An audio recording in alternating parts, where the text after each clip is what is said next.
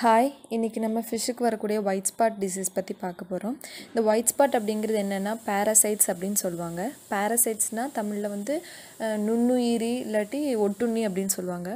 இந்த ஒட்டுண்ணி என்ன பண்ணுன்னா ஃபிஷ்ஷில் இருக்க எனர்ஜியை வந்து அப்சர்வ் பண்ணிக்கிட்டு உயிர் வாழ்ந்துட்டுருக்கும். ஸோ அப்படி ஃபுல்லாக அப்சர்வ் பண்ணிச்சு அப்படின்னா கொஞ்சம் ஷார்ட் பீரியட் ரொம்ப ஷார்ட் பீரியட்லேயே இந்த ஃபிஷ்ஷு வந்து கொன்றும். ஸோ இதில் ஃபஸ்ட்டு இனிஷியல் ஸ்டேஜில் பார்த்திங்கன்னா இந்த ஒயிட் ஸ்பாட்டுங்கிறது ரொம்ப குட்டி குட்டி புள்ளி புள்ளியாக டாட் டாட்டாக தான் ஃபிஷ் மேலே தெரியும். அதுக்கப்புறம் அது மெச்சூர் ஆக ஆக தான் ஒரு ஒன் டே டூ டே அந்த மாதிரி லெவலில் வந்து பெருசாக கொஞ்சம் பெருசாக வந்து தெரியும். ஸோ மெச்சூரான பேராசைட்ஸ் என்ன பண்ணும் அப்படின்னா ஃபிஷ்ஷில் இருந்து லீவ் ஆகி கீழே ப டேங்க்னுடைய சைடில் இல்லாட்டி பாட்டத்தில் வந்து செட்டில் ஆயிரும். செட்டில் ஆகி அதனுடைய லைஃப் சைக்கிளை எக்ஸ்பேண்ட் பண்ணி அது ரீப்ரொடியூஸ் பண்ண ஆரம்பிக்கும். ஸோ அப்படி ரீப்ரொடியூஸ் பண்ணிச்சுன்னா ஒரு ஹண்ட்ரட்லேருந்து தௌசண்ட் உற்பத்தி பண்ணும். ஸோ அது டூ டு த்ரீ டேஸில் அது டெவலப் ஆகி மற்ற ஃபிஷ்ஷை வந்து அஃபெக்ட் பண்ணும். ஸோ அதனால் இதை இதனுடைய ட்ரீட்மெண்ட் வந்து ரொம்ப ரொம்ப முக்கியமான ஒரு எஃபிஷியண்ட்டான ஒரு விஷயம். ஸோ கண்டிப்பாக ஒயிட் ஸ்பாட் வந்துச்சுன்னா இது கண்டிப்பாக நம்ம கிளியர் பண்ணியே ஆகணும். ஓகே இப்போ வந்து இந்த ஒயிட் ஸ்பாட் வரதுக்கான ரீசன் பற்றி பார்க்கலாம். ஃபஸ்ட்டு பார்த்தீங்கன்னா வாட்டர் டெம்பரேச்சர் வந்து கரெக்டாக இல்லாதது தான் ஒரு ரீசனாக இருக்கும். மோஸ்ட்லி பார்த்தோம்னா கோல்டு டெம்பரேச்சரில் இல்லாட்டி வின் வின்டர் சீசன் இல்லாட்டி மழை காலத்தில் வந்து இந்த ஒயிட் ஸ்பாட் அதிகமாக நம்ம பார்க்க முடியும். ஏன்னா அப்போ தான் டெம்பரேச்சர் வந்து சடனாக டிக்ரீஸ் ஆகும். ஸோ ஒரு ஒரே மெயின்டைனாக இல்லாமல் ரொம்ப சில்லுன்னு இருக்கும்பொழுது இந்த ஒயிட் ஸ்பாட் கண்டிப்பாக வரும். செகண்ட் வந்து வாட்டர்னுடைய குவாலிட்டியை பொறுத்து ஒயிட் ஸ்பாட் வரலாம். ரொம்ப பேடான குவாலிட்டி இருந்துச்சு அப்படின்னா ரொம்ப அழுக்கு தண்ணியாக இருந்துச்சு அப்படின்னா ஒயிட் ஸ்பாட் வரலாம். இன்னொரு இன்னொரு பாயிண்ட் வந்து அதனோட ஃபுட்டு நம்ம டயட்டை வந்து ப்ராப்பராக மெயின்டைன் பண்ணாதது வந்து ஒரு ரீசனாக இருக்கும். இன்னொன்று ஃபிஷ்ஷை நம்ம எந்த மாதிரி ஹேண்டில் பண்ணுறோம் அது அதிகமாக அதை வந்து டிஸ்டர்ப் பண்ணிக்கிட்டே இருக்கும். சும்மா மாதிரி எதாவது பண்ணிகிட்டு இருந்தால் அது அதுக்கு அதுவும் வந்து ஒரு ரீசனாக இருக்கலாம். இன்னொன்று ஹோம் வீட்டினுடைய என்விரான்மெண்ட்டை பொறுத்து இந்த ஒயிட் ஸ்பாட் வர்றது இருக்கலாம்.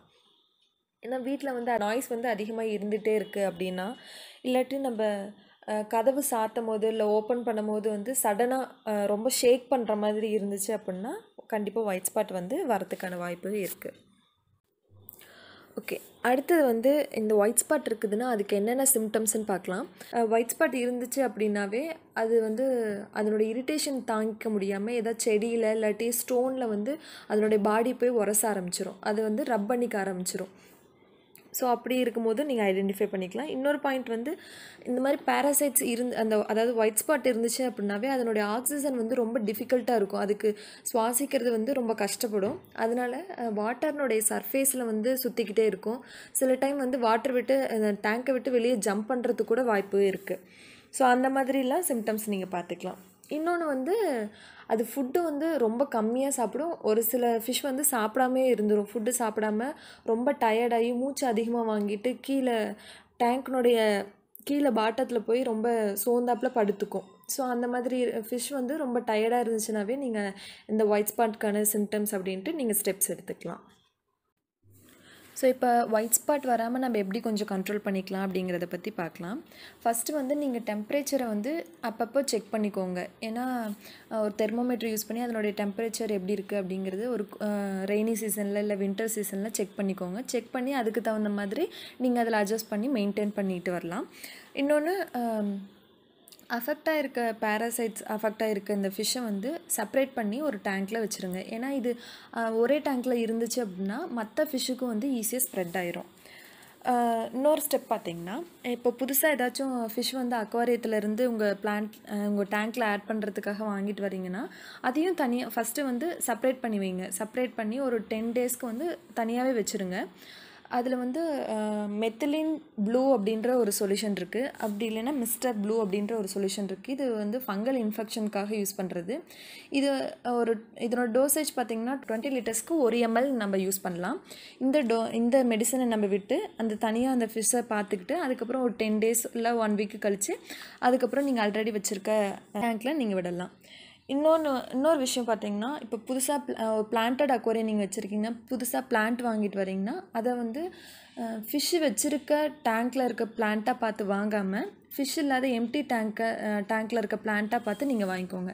ஏன்னா ஆல்ரெடி அந்த கடையிலேயே ஒயிட் ஸ்பாட் இருக்க ஃபிஷ்ஷு வந்து அதில் வச்சுருக்கலாம். நான் சொல்லியிருக்கேன் பேராசிட்ஸ் வந்து கீழே போய் தங்கிரும் செடியில் அது மாதிரிலாம் ஒட்டிரும். ஸோ நீங்கள் அதை வாங்கிட்டு வந்து நீங்கள் வைக்கும் போது உங்களுடைய டேங்க்குக்கும் இந்த பேராசைட்ஸ் பரவறதுக்கு நிறைய சான்சஸ் இருக்குது அதே மாதிரி தான் நீங்கள் பிளான்டட் அக்கோரம் இல்லாமல் நார்மல் டேங்க் வச்சுருக்கீங்கன்னா டெக்கரேஷனுக்காக ஏதாவது ஸ்டோனு கிராவல் அந்த மாதிரி எடுக்கிற எடுக்கிறதா இருந்துச்சுன்னா நீங்கள் அதே மாதிரி அதை நல்லா வாஷ் பண்ணி ஒரு டூ டேஸ் வந்து ஏர்லேயே ட்ரை பண்ணி அதுக்கப்புறம் நீங்கள் அதை யூஸ் பண்ணிக்கலாம். இயர்லியாக வந்து பேராசைட்ஸை கண்டுபிடிக்கிறது வந்து கொஞ்சம் கஷ்டம். இது ஸோ நீங்கள் எவ்ரி வந்து நீங்கள் இது வாட்ச் ப ஃபிஷ்ஷு வந்து வா வாட்ச் பண்ணிகிட்டே இருங்க. எதாவது பேராசைட்ஸ் இருக்கா அப்படின்ட்டு மூமெண்ட்டில் ஏதாச்சும் டிஃப்ரென்ஸ் இருக்கா அப்படிங்கிறது நீங்கள் எவ்ரிடே நீங்கள் வாட்ச் பண்ணிகிட்டே இருங்க. ஓகே இப்போ மெடிக்கேஷன் பண்ணுறதுக்கு முன்னாடி ஃபிஷ்ஷுக்கு அந்த இன்ஃபெக்ட் ஆன ஃபிஷ்ஷுக்கு வந்து நம்ம மெடிக்கேஷன் பண்ணுறதுக்கு முன்னாடி ஒரு சில ஸ்டெப்ஸை வந்து நீங்கள் ஃபாலோ பண்ணுங்கள் இப்போது நார்மல் டேங்க் இருந்துச்சுன்னா அதில் இருக்க ஸ்டோன்ஸு இல்லை ஏதாச்சும் ஆர்டிஃபிஷியல் பிளான்ட் எல்லாம் வச்சுருந்தீங்கன்னா ஃபுல்லாக எடுத்துகிட்டு தண்ணியெல்லாம் எடுத்துகிட்டு டேங்க் ஒரு க்ளீன் பண்ணி அந்த ஸ்டோன்ஸ் எல்லாமே க்ளீன் பண்ணி செட் பண்ணி வச்சுக்கோங்க. இதே ஒரு பிளான்டட் அக்வாரியம் அப்படி இருந்துச்சுன்னா நீங்கள் ஹாட் வாட்டர் வச்சு ஒரு கிளாத்தில் டிப் பண்ணி அந்த சுற்றி அந்த கிளாஸ் எல்லாமே உள்ள உள் சைடு ஃபுல்லாமே தொடச்சி எடுத்துருங்க. ஏன்னா அந்த பேராசைட்ஸ் வந்து அங்கங்கே ஸ்டிக்காக இருக்கிறதுக்கு வந்து சான்சஸ் இருக்குது அதனால் நீங்கள் அந்த மாதிரி க்ளீன் பண்ணிக்கோங்க. அப்புறம் இன்ஃபெக்ட் ஆன ஃபிஷ்ஷஸை வந்து நீங்கள் ஃபஸ்ட்டு செப்ரேட் பண்ணி வச்சுக்கணும். ஏன்னா மற்ற ஃபிஷ்ஷுக்கு பரவ விடாமல் நம்ம அதை செப்ரேட் பண்ணி வச்சுக்கோங்க. அடுத்து வந்து நீங்கள் கார்ப ஃபில்ட்ரேஷனில் வந்து கார்பன் யூஸ் பண்ணியிருக்கீங்கன்னா கார்பன் ஃபில்ட்ரேஷன் இருந்துச்சுன்னா அதை ஸ்டாப் பண்ணிடுங்க இல்லாட்டி அதை எடுத்துருங்க. இன்னொன்று வந்து நீங்கள் இந்த மாதிரி ட்ரீட்மெண்ட் பண்ணிகிட்ருக்க முன்னாடி இந்த இடையில வந்து ட்ரீட் ட்ரீட்மெண்ட் பண்ணிகிட்டு இருக்கும்போது அதுக்கு இடையில வந்து வாட்டர் ஒரு fifty to seventy five percentage வாட்டரை வந்து நீங்கள் பார்ஷலாக சேஞ்ச் பண்ணிக்கிட்டே இருக்கணும் அப்பப்போ. அதே மாதிரி இந்த டோட்டல் கம்ப்ளீட்டாக அந்த மெடிக்கேஷன் வந்து ஒரு டென் டு ஃபோர்டீன் டேஸ் இருக்கிற மாதிரி நீங்கள் பார்த்துக்கோங்க. அதே மாதிரி முக்கியமான ஒன்று நீங்கள் மெட் அந்த மெடிசன் எதாவது யூஸ் பண்ணுறீங்க அப்படின்னா அதில் பேக்கேஜில் இன்ஸ்ட்ரக்ஷன் கொடுத்துருப்பாங்க. கரெக்டாக அந்த இன்ஸ்ட்ரக்ஷன் தகுந்த மாதிரி யூஸ் பண்ணிங்க. அதை விட அதிகமாக யூஸ் பண்ணிட வேண்டாம். இப்போது சாஃப்ட் ஃபிஷ்ஷஸ்லாம் இருக்குது இந்த மாதிரி கேட் ஃபிஷ் அப்படின்னு சொல்லுவாங்க. டேங்க் கிளீனரு அப்புறம் சில நியான் டெட்ராஸ் இந்த மாதிரி டெட்ராஸ்லாம் இருக்கு இல்லையா? அதுக்கெலாம் வந்து மெடிசனோட டோசேஜ் வந்து ஹாஃபாக இருக்கிற மாதிரி பார்த்துக்கோங்க. ஏன்னா அதெல்லாம் ரொம்ப சென்சிட்டிவான ஃபிஷ்ஷஸ்ஸு ஸோ அதனால் அதை அதை பேலன்ஸ் பண்ணிக்க முடியாது. அதனால தான் சொல்கிறேன் ஓகே இதுக்கு ட்ரீட்மெண்ட் பார்த்திங்கன்னா மூணு மெத்தடில் ட்ரீட் பண்ணலாம். ஒன்று வந்து சால்ட் யூஸ் பண்ணி பண்ணலாம். செகண்ட் வந்து ஹீட்டர் மூலமாக க்யூர் பண்ண முடியும். இன்னொன்று வந்து மெடிசன் மூலமாக பண்ணலாம். இப்போ இனிஷியல் ஸ்டேஜ் தான் நீங்கள் ஆரம்பத்திலே நீங்கள் பார்த்துட்டிங்க அப்படின்னா நீங்கள் சால்ட்டு யூஸ் பண்ணி பண்ணலாம். அது வந்து நீங்கள் நார்மல் வீட்டில் யூஸ் பண்ணுற சால்ட்டு யூஸ் பண்ணாமல் நீங்கள் அக்வாரி இதுக்குன்னே தனியாக சால்ட் இருக்குது அக்வாரியம் சால்ட் அப்படின்னு சொல்லிட்டு தனியாக ஃபிஷ்ஷுக்குன்னே இருக்குது அதை யூஸ் பண்ணலாம். அது வந்து ஃபோர் லிட்டர்ஸ்க்கு ஒரு டீ ஒரு டீஸ்பூன் வந்து யூஸ் பண்ணலாம்.